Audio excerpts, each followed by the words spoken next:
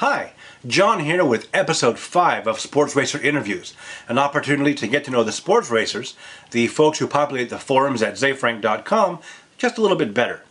In this episode, I had the rare opportunity to meet and interview a sports racer face to face, the results of which will be brought to you over the course of the next few episodes, and will include such topics as art, alcohol, and the alphabet.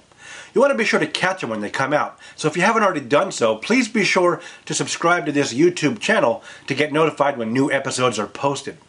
As a side note, for you technically minded video enthusiasts, I know I broke the 180 degree camera placement rule, but our environmental options were limited, so we just thought we'd have fun with this interview anyway, and we hope you enjoy it too.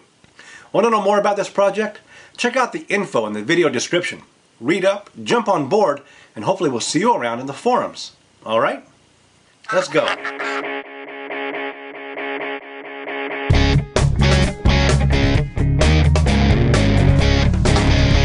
Hi, John here, DV Watt in the forums, and uh, I'm back again for another episode of the Meet the Sports Racers interview video series. And I'm here today with Lauren, who many of you in the forums probably know as Sassy Pants. And I'm really excited to have this opportunity to chat with you for this interview. So, welcome and thanks for being here. Thank you. I'm also really excited. Awesome. Really? I have a quick question. Sure, yeah. okay. Um, because sports racer, I haven't heard Ze use that term yet.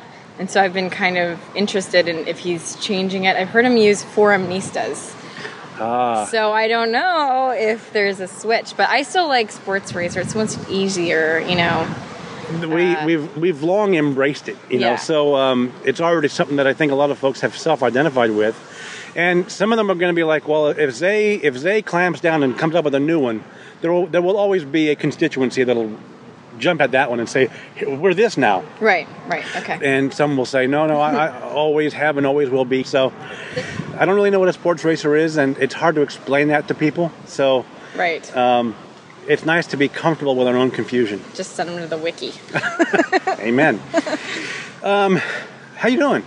I'm all right. It's a beautiful day in weird Fairfield. We were looking around here in this beautiful town of Fairfield uh, for an, um, a location to do this interview, and uh, the first two places we both were pointed to via our GPS were not good.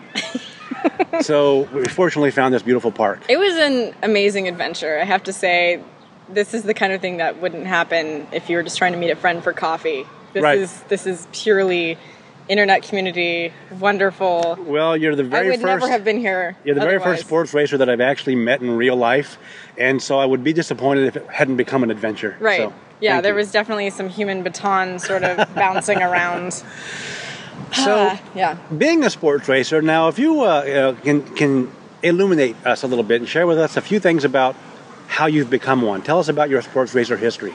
Okay. Um, it's so weird to feel like I became one because it seems like there would be this demarcation of when I wasn't and when I was, which is strange. And I don't like to think of labels, but to humor the question, I guess. Um, I have always been a pretty big internet person. Um, when I was in college, I was playing flash games as they came out. Um, I was really into flash games, especially those that were puzzles um, and puzzle based. And I think how I found Ze was through. Um, I think it was the flower thing. There was a flower garden project where it was just this one of those little toys, a web toy, and you could make a flower, and it was so cool because you would just put anything, and it was symmetrical all around. Um, and it was really beautiful, all the results, and there was almost a community right there, even uh, because you, once you made your flower, it would grow onto a little vine there, and it would show everyone else's flowers, and could click and see who did it and where they're located, which is such a great idea. Um, and just really lovely.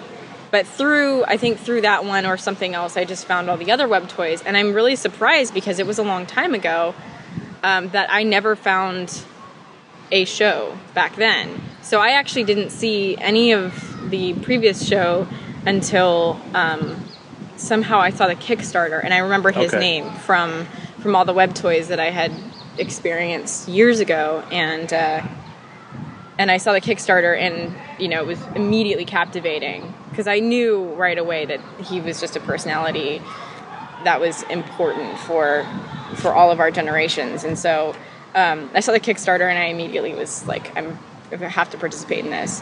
And it was, and then I was surprised to see um, that there were all these other people that seemed to know all of this other stuff, and they were using all this lingo about that there was another show. And so I went to go check that out, and I was like, how did I not see this before? So, um, so that was kind of weird, and I felt left out because it was so right up my alley um, and what I would have been doing at the time. Uh, so I'm happy to be a part of this community. Uh, I feel like I'm getting that second chance. Well, you've kind of you've made up for that. You know that sense of being left out. You uh, you jumped right in, and you, you've interacted with so many people, and it's so. As I said earlier, you're so present uh, on the forums by not just you know starting uh, threads but also being very responsive to other people's and just really interacting in a lot of different places uh, in, in, both fun and also very serious ways. Yeah. So um, tell us about what keeps gravitating you towards uh, being, you know, being active on there. Um, my understanding of internet communities and especially of forums is you get out of it what you put into it. Um, and I definitely had seen a lot of, uh, not a lot, but there was a handful of postings of people that didn't feel like they were involved and they were they would start a post saying how do i get started? What do i do? And the first answer that everyone gave was always jump in start doing stuff start participating. And i think that's true of any forum that's true of any internet community it's true of any community really beyond the internet is if you want to be a part of it then you just start being a part of it and you put your foot in every door that you see or any anything you find that's interesting go for it do something um, and the great thing about the the forum is there are so many different things to do. If you're an artist, there are so many uh, different threads that need artists. If you're a musician, there's music musician threads. There's um, you know reading stuff. There's photography. I mean, it's this incredible, multifaceted, diverse uh, collection of threads. And so I I would think, how could you not get involved? Yeah, there's something for everybody. You are right. There's definitely this. In a lot of ways, it just it skews towards creativity. Right, right. That's um, true. And fun, and you know that kind of people who get enjoyment out of that, not the entertainment of you know being being passively entertained, but rather get involved and find that to be an entertaining endeavor. Yeah. Right. Well, that and I also like about the community that um, even the people that aren't incredible fine artists they they can draw a stick figure and still participate and no one's judging them no one's saying oh my art's better than yours you know there's there isn't that competition there's there's complete support it's like oh it's really cool that you participated everyone is so welcoming and so non-judgmental in yeah. that manner um, as far as skill goes that uh, that once again, I mean, even if you're not a talented musician, you can still, you know, press some buttons and make a remix. Yeah. I mean, that's incredible. And in fact, some of the tools that have come out uh, over the years with the community is online interfaces that have kind of allowed that. Um, a little sidetrack. We may be capturing some uh, moments of tension here in the beautiful park. it's going to be the next Fellini film.